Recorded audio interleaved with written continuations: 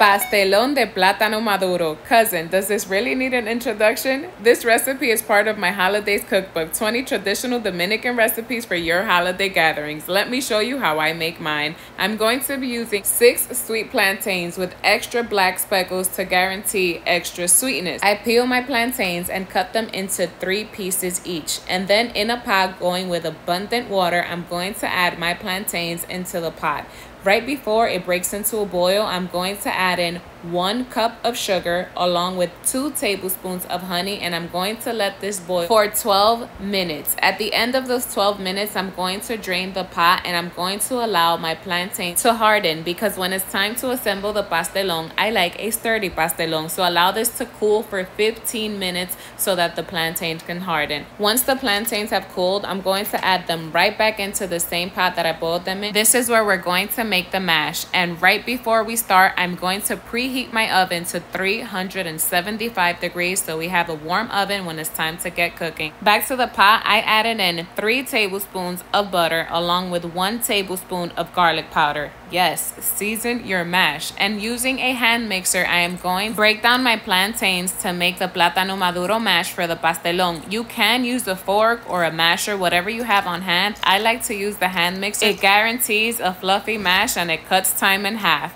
Now, the pan I'm using, I'm making a smaller pastelón. The one in my book is a lot larger than this. I'm going to add half of the mash to my sprayed pan and I'm going to spread it evenly across the bottom. Next for the filling, I'm using ground beef. I have this recipe right up on my page. Just give it a search. And I also have a shredded chicken recipe. So if you prefer your pastelón with shredded chicken or your lasagna with shredded chicken, I also have that recipe up in my page. So I'm going to spread the meat evenly. This is the middle layer. And then I'm going to follow up with one full bag of shredded cheese. Whatever your favorite shredded cheese is, whether it's mozzarella or Gouda, spread it evenly. Now for the final layer, we're going to top it off with the remaining plátano maduro mash. For the top layer, I find it easier to add the plátano maduro in all corners. So one clump on each corner because it makes it easier to spread. Since this is now being spread over cheese and meat, sometimes the bottom layers tend to move around. So shifting the pan around also helps cover the entire surface.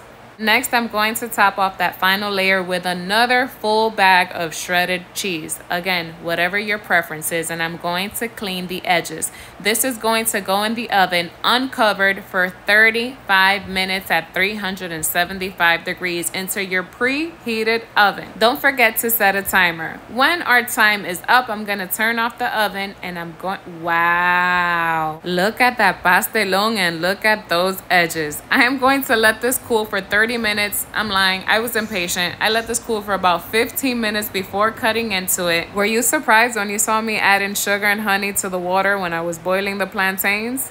That is a trick of the trade. And this is my pastelón de plátano maduros. The recipe in my cookbook is for 12 to 15 people. This one served 8. I hope you enjoyed this recipe, cousin. See you again next time.